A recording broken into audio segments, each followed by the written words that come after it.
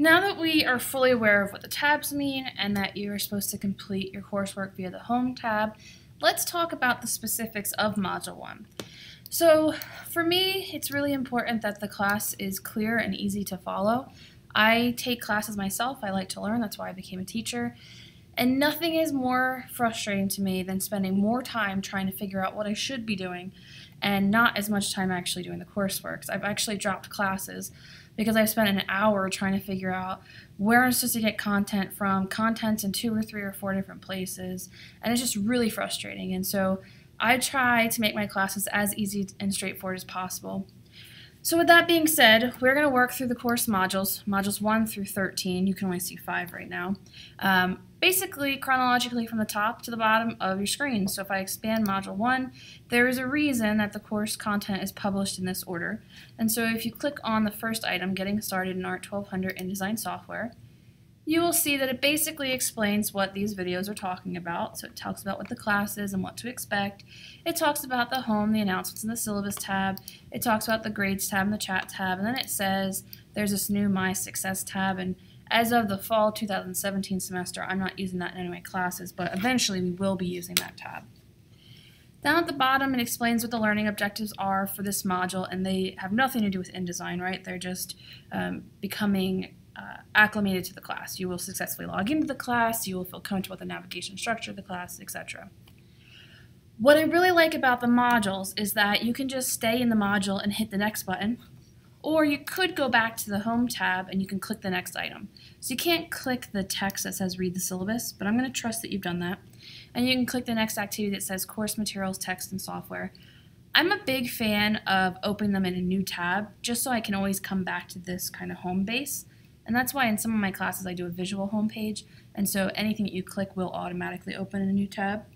Um, I'm going to right click and open this in a new tab. And then you can read through the required, uh, required course materials, text, and software. So for InDesign, we will use InDesign and Photoshop, and you will have the option to use Illustrator and Bridge in this class. Um, you do not need to have them. You will not be able. You will not. Um, you will not be unable to complete something because you don't have them, but we will talk about how you integrate Illustrator into um, InDesign. So InDesign is a compiler, and you go to outside sources and make artwork, and then you compile them into one central location to make a pamphlet or a flyer or something like that. And so you need to create your assets somewhere.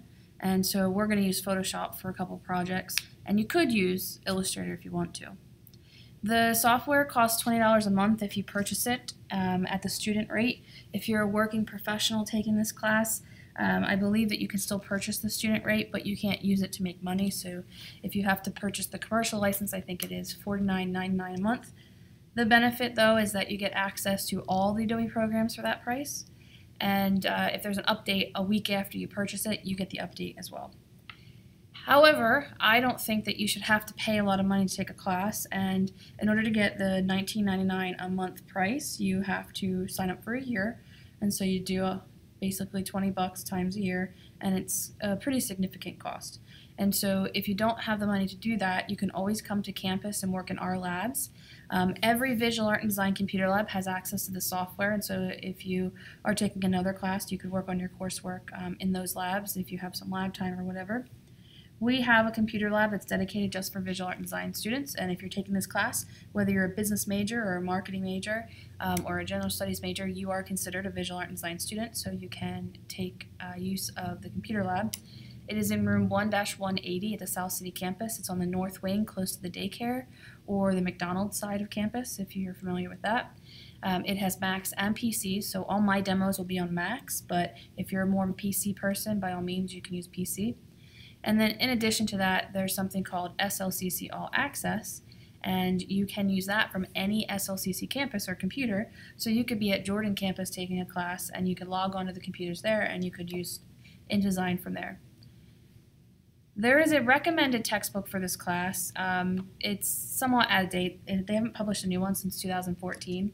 And in general, I would say, well, you shouldn't buy um, a technology textbook that's that old. But all of the stuff that we do in InDesign has not changed since 2014.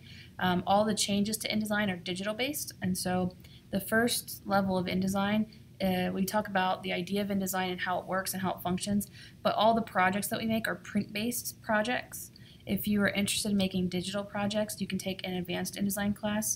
Um, Art 2200 Advanced InDesign is still print-based, but Art 2120 eDesign and Publishing is an advanced InDesign class to make digital outputs from InDesign. The book is recommended because everything you need to be successful in the class has been recorded in a lecture, and so if you're watching my lectures, um, you will need everything to be, you will have everything that you need to be successful. Um, however, there's stuff in the book that's really informative that we're not specifically requiring you to do, um, that it would be good to have, so keep that in mind. That Open Computer Lab, just to reiterate, is 1-180 at the South City campus. Um, you need to stop by and check their hours because they change um, throughout the semester based on student need and demand. And so I can't tell you what those hours are because every semester they'll change. And then I just want to point out that this course is um, it's housed in the Visual Art and Design department, but it's also housed within the Graphic Communications uh, emphasis. So we have emphasis, emphases, emphases. I'm going to go with emphases. We have emphases in web design, animation, game development, photography, illustration, graphic design, and graphic communications. And so each one of those specializations or emphasis, emphases um, they kind of take the stewardship role of certain courses. And this course falls within the graphic communication stewardship. And the graphic communication stewardship is working really hard to promote OER, Open Educational Resources. And there, it's a very wide spectrum. We're kind of interpreting it liberally in graphic communications because most OER resources are like textbooks. So if, if you were going to take a math class and somebody required a textbook and it costs $300, that's a lot of money. But you could also find a textbook that's been published online for free from other math faculty who have assembled that and decided that we're not going to try to make money off that. We just want students to be able to learn. Um, and that textbook would be an open educational resource textbook. Um, the way that graphic communications is interpreting that is that we are saying that we are going to make whatever we need you to see free at whatever cost that is. And like in the Photoshop class, Art 1280, you have to print, and the printing is expensive because it has to be photo quality on an inkjet photo printer.